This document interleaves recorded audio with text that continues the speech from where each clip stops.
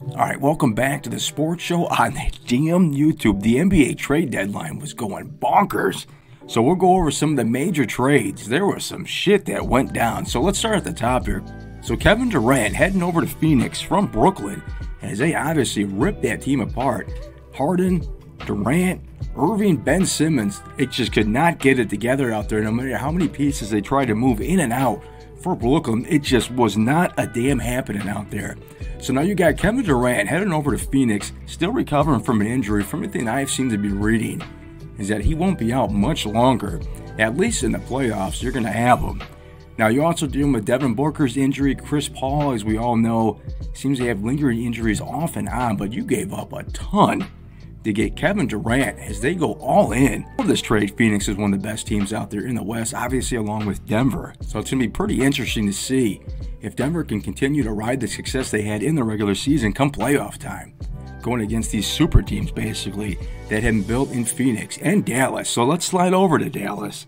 Dallas acquiring Kyrie Irving. Now, you talk about a dynamic backcourt with Doncic and Kyrie Irving. I think this is going to work well, at least on the court, with both of them out there together.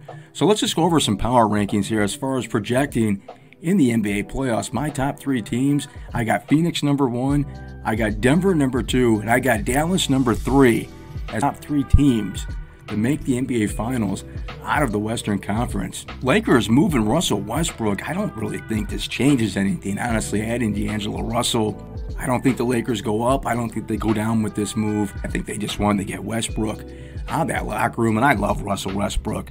I think he took too much slack out there for the Lakers, but Westbrook might be heading over to Dallas as he will probably more than likely be cut. We'll go over this last trade right here. Saddiq Bey going to Atlanta from the Detroit Pistons. I love Saddiq Bey.